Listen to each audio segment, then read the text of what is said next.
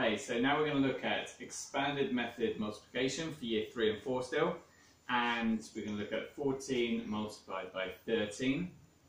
We're going to look at the abstract form of that. So we've looked at the concrete method, now we're going to look at the abstract method.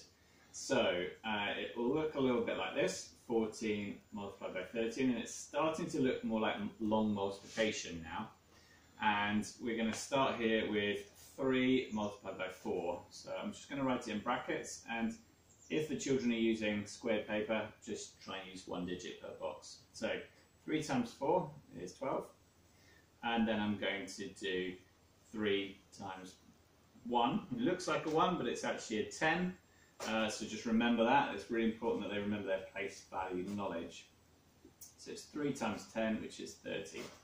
Then you're going to move over onto the tens column and now I'm going to do 10 multiplied by 4. So that's 10 multiplied by 4, which is 40.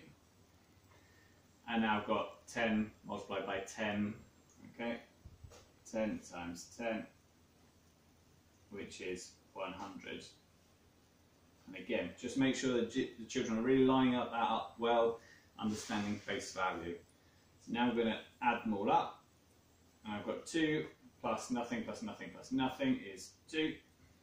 Then I've got 10 plus 30, which is 40, plus my 40, which is 80, plus nothing, so 8 in the tens column.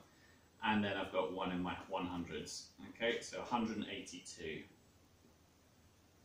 So 14 multiplied by 13 is 182 in the abstract form.